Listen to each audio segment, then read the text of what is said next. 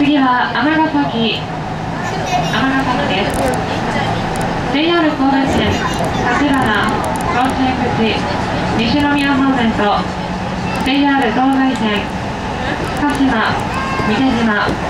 北新津方面へお越しのお客様はそれぞれお乗り換えです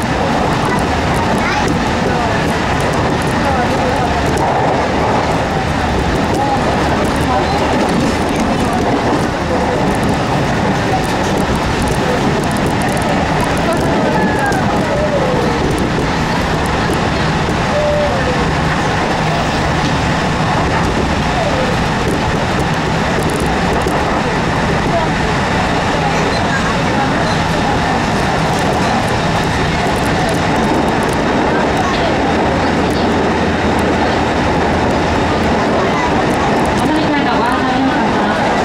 JR 神戸線普通列車西坂新木場4番乗り場から来ました同じホームの向かい側4番乗り場からすぐの発車です JR 東西線普通列車京田辺駅は20時10分ホーム変わりまして5番乗り場から発車いたします。到着の際は電車が揺れますのでお立ちのお客様はお足元にご注意ください。まもなく尼崎尼崎です。また尼崎駅ではただいま駅改良工事に伴い後ろ寄りのホームに仮囲いを設置しております。そのためホームの一部が狭くなっております。ホームをご通行の際はお足元にご注意ください尼崎を出ますと塚口稲寺伊丹の順に各駅に停まりま